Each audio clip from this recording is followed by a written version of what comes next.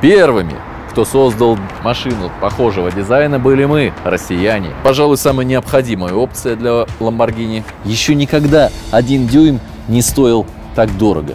Каждый из которых в итоге заляпается. Давайте послушаем, как дышит эта машина.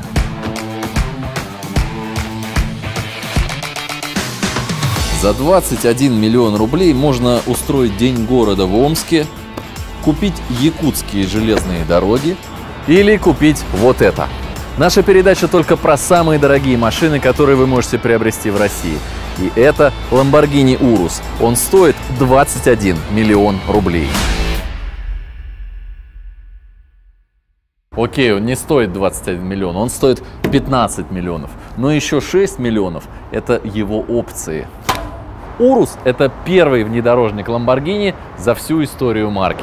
Окей, это не первый внедорожник Lamborghini за всю историю марки. Был еще крутейший LM002, который претендовал на американскую армию, но ничего у него из этого не получилось. Он должен был участвовать в ралли, но не стал, выпускаться большими тиражами, но не смог. Все, что мы знаем, это то, что тираж его составил в районе 300 штук, и на нем ездил Саша Белый из сериала «Бригада».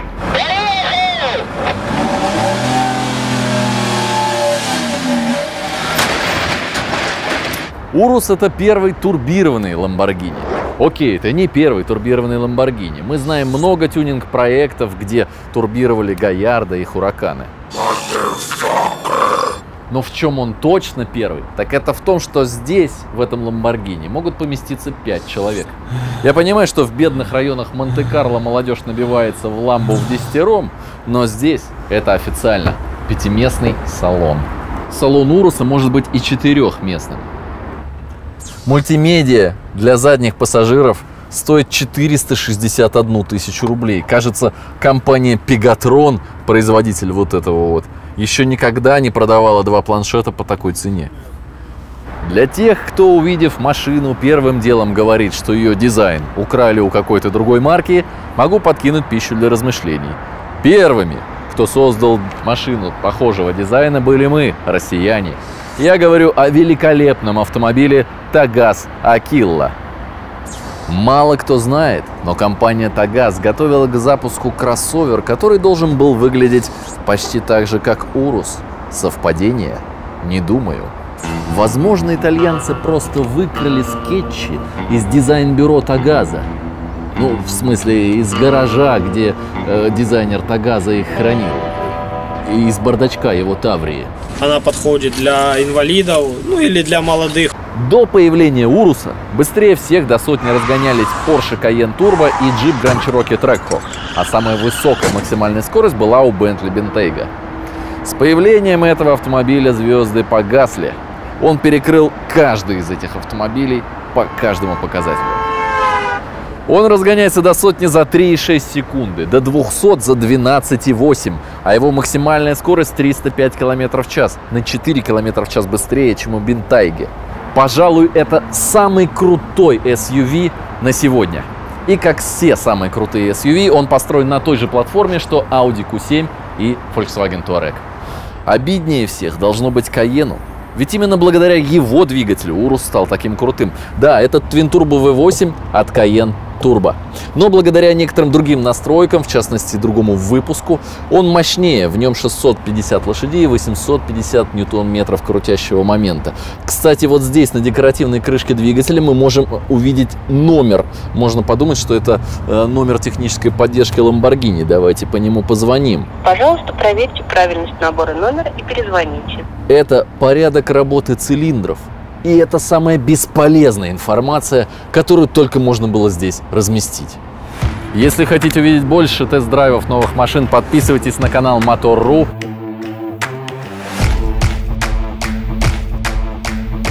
Если хотите увидеть больше дорогих машин из России, подписывайтесь на Привет Тачки. В стандартной комплектации Уруса уже идут карбон-керамические тормоза. Не припомню ни одного внедорожника с такой э, базовой комплектацией. В качестве опции здесь тоже есть повод разгуляться. Например, можно покрасить вот суппорта в такой вот черный цвет, и это обойдется вам всего в 98 тысяч рублей. Я дом покрасил дешевле. Кстати, тормозной путь этой машины со 100 км в час составляет всего 33 метра. При массе машины 2,2 тонны. Для сравнения, наш внедорожник УАЗ Патриот тормозит со 100 км в час на 60 метрах.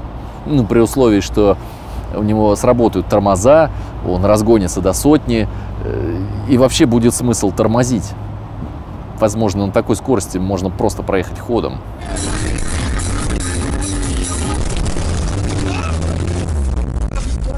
Урус может не только поменять ваш баланс на банковском счете, еще он меняет клиренс, звук выхлопа и жесткость подвески. Вообще вы можете настроить эту машину полностью под себя. Ну и, конечно, вряд ли кого-то сейчас можно удивить опцией открывания задней двери без рук. Но у Уруса здесь есть кнопочка, с помощью которой вы можете опустить зад машины на пневмобаллонах для того, чтобы облегчить погрузку э, в багажник. И еще здесь одна кнопочка есть, которая открывает, пожалуй, самая необходимая опция для Lamborghini – фаркоп.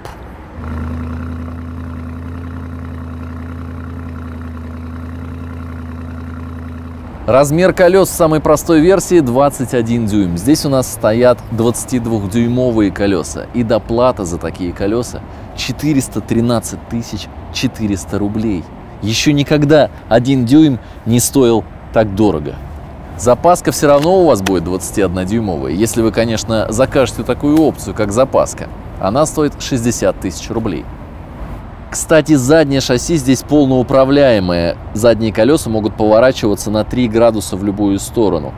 На малых скоростях они поворачиваются в противоположную передним колесам сторону, а на больших, ну, например, для того, чтобы облегчить вам перестроение из ряда в ряд, они поворачиваются в ту же сторону.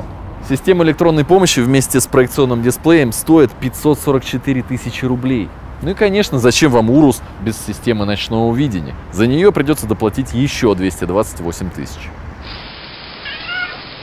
Но это все ерунда, потому что, как вы, наверное, уже догадываетесь, основные опции внутри. В салоне Уруса довольно тихо, особенно пока вы его не завели. Отчасти потому, что здесь двойное остекление. Эти великолепные передние кресла из нежнейшей кожи стоят 272 тысячи рублей. Коврик под моими ногами 54 тысячи рублей. Руль, кстати, целиком от Audi, 108 тысяч рублей и еще 32 за контрастную прострочку. Если хотите цветной ремень, надо выложить еще 76 тысяч. Амбиентную подсветку салона 261 тысячу рублей. Про Audi в салоне Lamborghini не забудешь при всем желании. От нее здесь не только руль, но и подрулевые переключатели, кнопки с блока управления стеклоподъемниками, открывание, закрывание салона, багажника и многое другое. Слева находится селектор Anima, который регулирует, в общем-то, всю мехатронику. Здесь 6 режимов, 3 э, спортивных и 3 внедорожных. А рычажок справа – это режим эгоиста. Вы можете настроить под себя и шасси, и рулевое управление, и жесткость подвески, и одним включением этого рычажка привести в исполнение все свои настройки. Мультимедиа состоит из двух мониторов, каждый из которых в итоге заляпается и превратится, на мой взгляд, просто в кучу отпечатков. Это касается и самих клавиш, и мониторов. Все мониторы с тачскрином, и, например, когда нажимаете на верхний монитор, здесь он срабатывает еще и щелчком, то есть здесь не только визуальное, но и тактильное ощущение, без них будет действительно на ходу разобраться очень сложно. Включить кондиционер можно нажатием вот этой вот центральной шестиугольной кнопочки, вы нажимаете, и дальше можете отрегулировать температуру либо однократным нажатием, либо модным свайпом. Если оставить переключатель в покое, то он сам через какое-то время выключит свой режим. Ну, не знаю, на ходу наверняка этим пользоваться не очень удобно. Очень крутой 3D режим камеры. Такое ощущение, что вы находитесь в компьютерной игре, вот все вокруг реальное, ваша машина э, нарисованная. Причем тут действует мультитач еще. Э, круто то, что в этом режиме вы видите, как у вас поворачиваются колеса, как включаются поворотники. Đã... Но хватит болтовни, давайте послушаем, как дышит эта машина.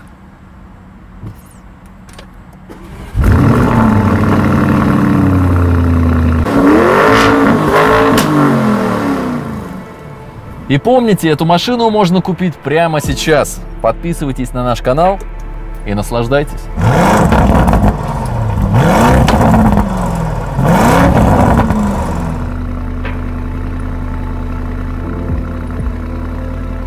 Подписывайтесь на мотор, чтобы следить за самыми последними тест-драйвами. Подписывайтесь на «Привет, тачку», чтобы увидеть самые дорогие машины в России.